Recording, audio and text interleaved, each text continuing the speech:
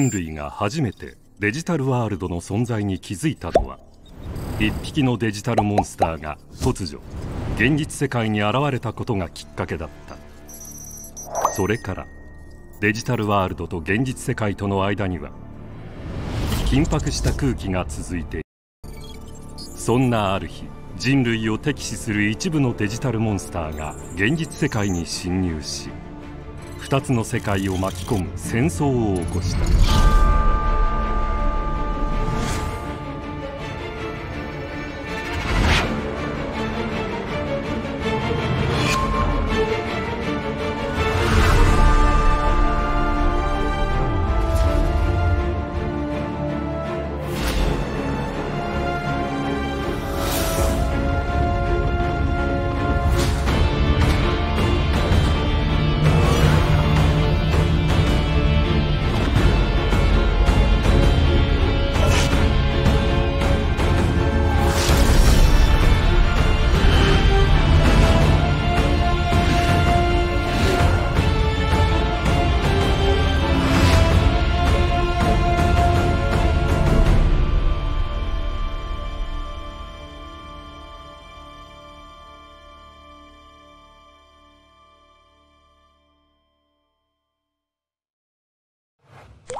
選ばれし子供たちは闇の勢力を打ち破り二つの世界に平和をもたらした。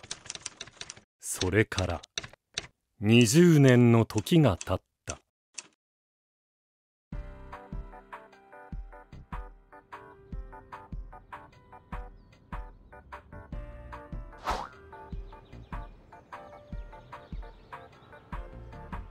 やっと起きたか。起こすの大変だったんだぞ。今日から DTF これ。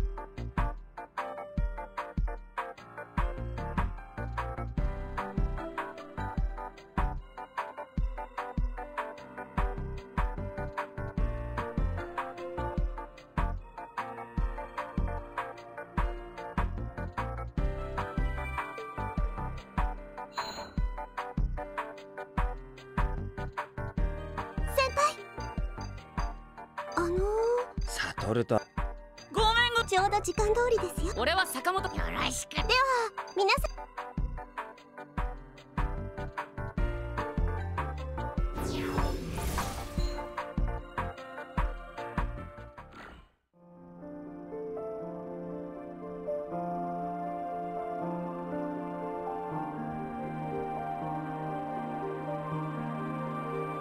今から20年前そして2つの世界の平和。インペリア。そらそうよ。現在も平和はそして。じゃあ